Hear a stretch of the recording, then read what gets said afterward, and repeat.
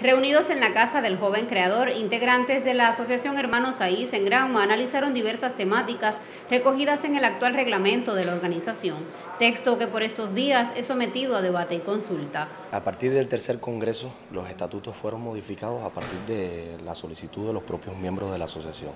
Solo quedaba eh, hacer comisiones para hacer el reglamento de los asociados. Un proceso de intercambios además que va más allá del debate del reglamento que está en proceso de confección, de la construcción colectiva entre todos los asociados del país, va también a debatir sobre otros temas que tienen que ver con funcionamiento, con las proyecciones de trabajo, con los resultados que ha tenido la organización en este año. El discutir estos, estos nuevos reglamentos que se están haciendo, que, que se están proponiendo ahora es muy interesante porque así nos da un norte le da un norte a la presidencia, a todo el ejecutivo, pero también a los asociados, que tengamos muy claro de, nuestros derechos, pero también de nuestros deberes con la, con la asociación. Ahora estamos en la fase de analizar si la Comisión Nacional para, para el Crecimiento de los Asociados debe, debe existir o no.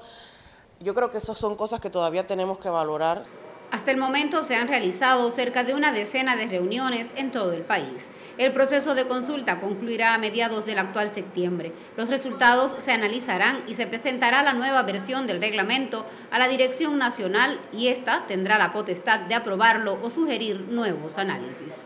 En Granma, Jacqueline Pérez, Noticiero Cultural.